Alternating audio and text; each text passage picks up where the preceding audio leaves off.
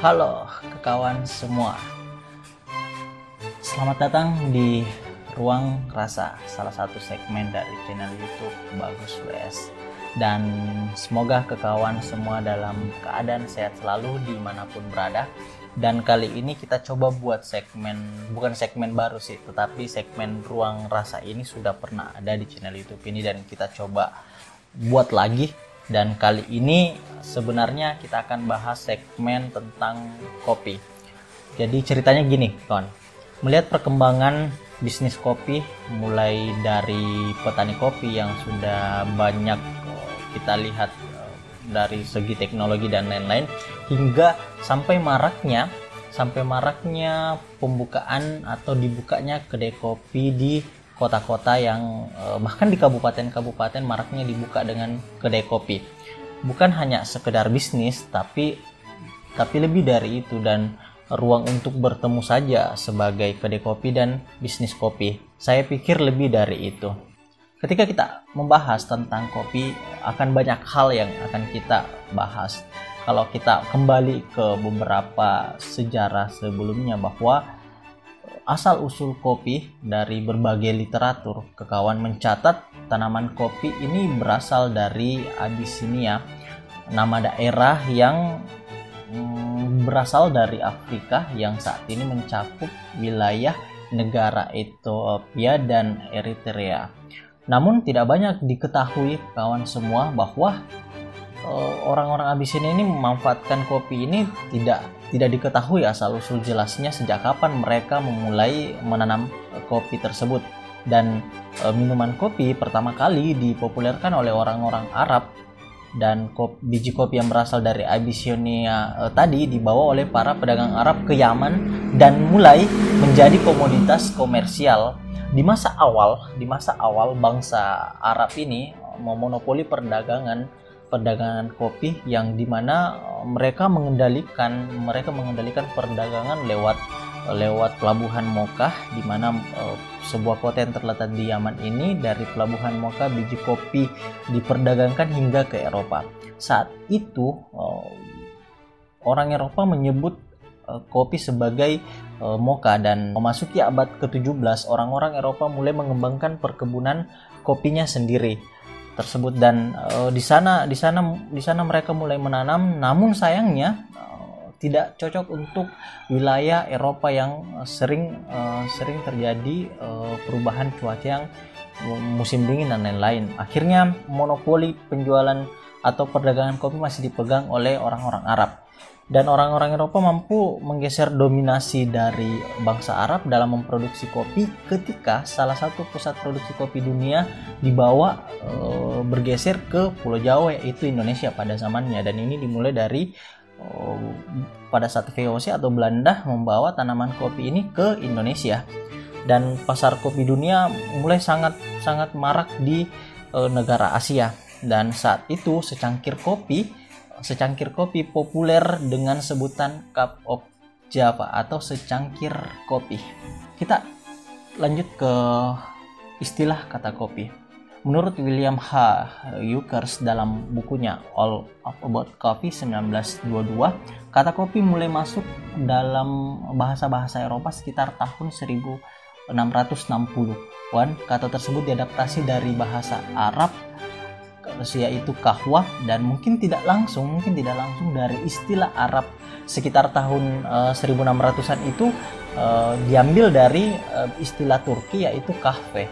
Perlu diketahui di Arab sendiri istilah kahwa tidak ditujukan untuk nama tanaman tetapi merujuk pada nama minuman. Para ahli meyakini kata kahwa digunakan untuk menyebut minuman yang terbuat dari biji yang diseduh dengan air panas yaitu adalah kahwa atau kopi pada zaman itu. Dan mengatakan bahwa awalnya merujuk pada uh, salah satu jenis minuman uh, anggur atau wine dan masih menurut Yukers asal usul kata kopi asal usul kata kopi secara ilmiah mulai dibicarakan dalam symposium uh, symposium of the etymology of the world coffee uh, pada tahun 1909 yang mengandung arti kuat. Jadi kata kahwa yang dari bahasa Arab tadi, kawan itu berarti kuat. Dan ada juga pihak yang menyangkal istilah kopi diambil dari bahasa Arab. Menurut mereka, istilah kopi, istilah kopi berasal dari bahasa bahasa selatan barat daya Abisinia di mana diadaptasi dari kata Kaffa nama sebuah kota di daerah Soa di selatan barat Abisinia menunjukkan di kota tersebut buah kopi disebut dengan nama lain yakni bun dalam catatan-catatan dari bahasa Arab, istilah kahwa diadaptasi ke dalam bahasa e, biji kopi dan e, sampai saat ini. Dan e, ke, seperti biasa bahasa Turki, bahasa Belanda yaitu kopi dan bahasa Perancis adalah kafe. Mungkin ini adalah asal muasal dari orang menyebut kedai kopi itu sebagai kafe dan e, dan dalam bahasa Italia kafe, bahasa Inggris adalah kopi, bahasa Cina kia dan bahasa Jepang menyebutnya sebagai kehi. Bahasa Melayu kawah pada faktanya hampir semua istilah untuk kopi di berbagai bahasa memiliki kesamaan bunyi dengan istilah Arab.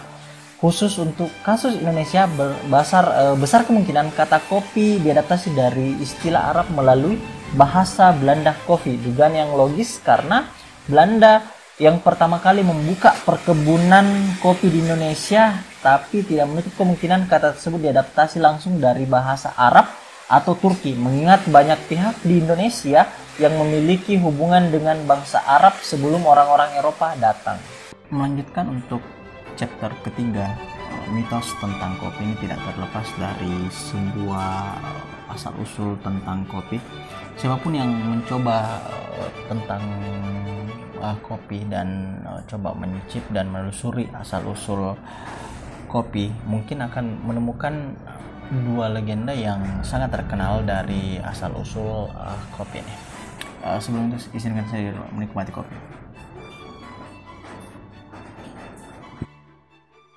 Cerita yang saya maksud adalah cerita yakni si Kaldi dan kambingnya dan cerita Ali bin Omar al-Syadili. Kedua legenda ini menceritakan tentang manusia yang mengolah uh, buah kopi. Jadi kalau dalam cerita si Kaldi kambingnya ceritanya diambil dari legenda yang berkembang di Ethiopia. Uh, Syahdan terdapat seorang pemilik kambing bernama Kaldi pada suatu hari si Kaldi mendapati kambingnya hiperaktif melompat sana kemari dan uh, terlihat sangat uh, kuat dan agresif begitu. Seperti sedang menari. Setelah diselidiki ternyata kambingnya baru saja memakan buah beri merah dari pohon yang belum dikenali. Dengan uh, rasa yang pernah dengan dengan rasa penasaran si Kaldi mencoba buah tersebut. Setelah memakannya ia mendapati dirinya berperilaku seperti kami menarik ke sana kemari dan akhirnya uh, seperti merasa mendapatkan kekuatan baru dan si Kaldi melaporkan kejadian ini ke seorang biarawan. Si biarawan tertarik dengan cerita si Kaldi dan ia pun mencoba buah tersebut. Efeknya si biarawan pun merasa bahwa memberikan uh, tenaga ekstra dan ia bisa terjaga dalam uh, malam hari tanpa mengantuk untuk berdoa. Karena rasa buah ini uh, sedikit pahit biara, biarawan pun lain mulai mengolahnya dengan menggunakan atau memanggang menyeduh buah tersebut sehingga sejak saat itu kopi dikenal menjadi minuman yang memberikan kekuatan ekstra. Nah, nah cerita yang kedua, kawan semua, adalah cerita tentang e, berasal dari Ali bin Omar al-Syadili. Konon di kota Mokkah, Yaman, hidup seorang tabib sekaligus sufi yang taat beribadah. Namanya Ali bin Al-Syadili. Omar terkenal sebagai tabib handal yang bisa menyembuhkan berbagai macam penyakit dengan memadukan tindakan medis dan doa. Namun eh, sepak terjang Omar tidak disukai dengan penguasa eh, dan akhirnya dengan berbagai intrik Omar pun digosipkan bersekutu dengan setan untuk menyembuhkan pasiennya. Akhirnya masyarakat kota Moka pada saat itu mengusir Omar keluar kota. Terusirlah si Omar dari kota Moka di Yaman. Setelah terusir dari kota, Omar berlindung di sebuah gua yang ia temukan dalam perjalanan.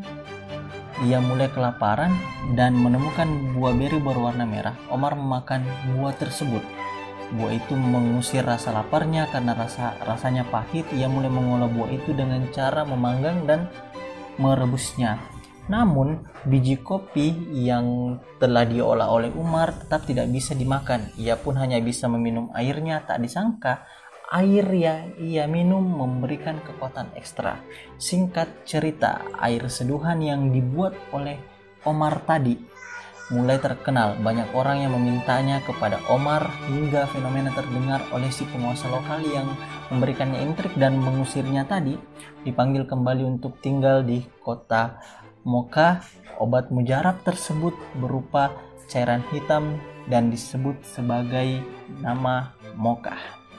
Dan uh, dari dari uh, sebelumnya bahwa kita lihat uh, asal usul kopi mulai dari apa tadi mulai dari uh, asal usul dan mitos-mitos yang berkembang dan uh, kita harus um, lagi melihat kembali bahwa awal mula ber, uh, budaya tanaman kopi ini sendiri itu di masa awal semua tanaman kopi yang dibudayakan merupakan jenis kopi arabica atau kopi arabica.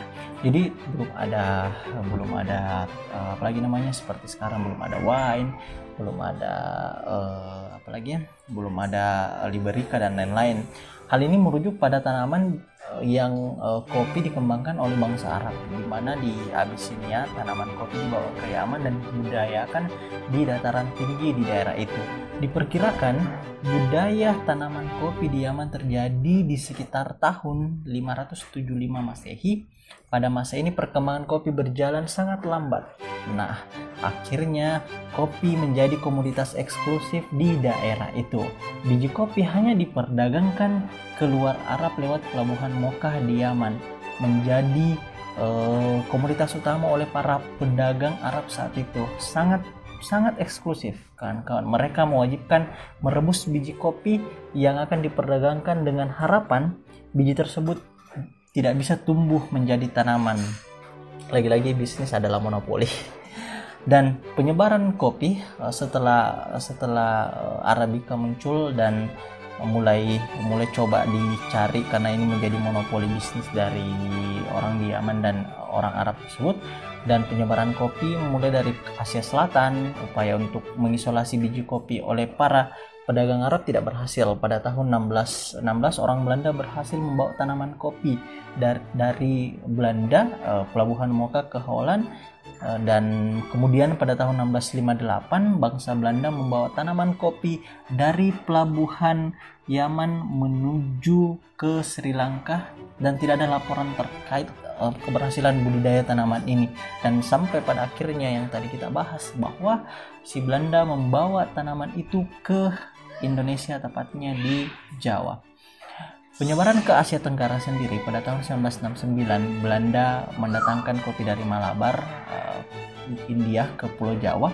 Tanaman kopi tersebut berasal dari biji yang dibawa dari Yaman ke Malabar meskipun dalam beberapa catatan mengatakan bahwa tidak semua langsung berhasil karena ada wabah yang ada wabah yang menyerang kopi-kopi tersebut meskipun begitu Belanda selalu berusaha untuk menanam uh, kopi tersebut karena ini adalah menjadi komoditas utama pada saat itu yang bisa menyelamatkan perekonomian Belanda dan VOC.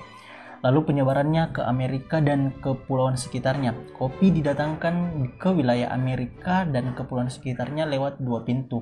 Yang pertama dimulai tahun 1706 ketika Belanda membawa tanaman kopi dari Jawa ke kebun raya Amsterdam dan Amsterdam tanaman kopi dibawa ke Suriname. Sebagian lain diberikan sebagai hadiah kepada Raja Louis ke-14 di Paris. Dan untuk Eh, penutup sebagai chapter 5 budaya minum kopi dokumen tertua yang menulis tentang kopi ditemukan dalam catatan eh, catatan Al-Razi 850 sampai 1922 seorang ilmuwan muslim yang juga ahli kedokteran mengatakan dalam catatannya suatu minuman yang ciri-cirinya mirip kopi dengan sebutan uh, busung. Catatan ini diperkuat oleh seorang ahli kedokteran setelahnya Ibnu Sina 980 1037 yang menggambarkan sesuatu biji yang bisa diseduh dan berkhasiat untuk menyembuhkan salah satu penyakit perut. Semua keterangan yang diberikan Ibnu Sina merujuk pada ciri-ciri kopi. dan yang kita kenal saat ini dia menyebut minuman tersebut sebagai bunsun dan bijinya dengan nama bun. Kopi menjadi komoditas ekonomi penting di dunia Islam. Minuman kopi sangat populer di kalangan para pesiarah di kota Mekah meskipun pernah beberapa kali dinyatakan sebagai minuman terlarang. Para pesiarah meminum kopi untuk tetap terjaga ketika beribadah di malam hari. Setiap perayaan eh, dan popularitas kopi semakin meluas di masa kekhalifahan Turki Utsmani diceritakan minuman kopi menjadi sajian utama di setiap perayaan di Istanbul. Di masa ini juga kopi disukai oleh orang-orang Eropa. Di awal tahun 1600-an, para pedagang di Venesia membeli kopi dari pelabuhan Mocha di Yaman. Dari tempat ini menyebar ke daerah Eropa lainnya. Kemudian pada tahun 1668 kopi mulai menyeberang ke Samudra Pasifik Atlantik dan tiba di New York kala itu masih menjadi koloni Belanda.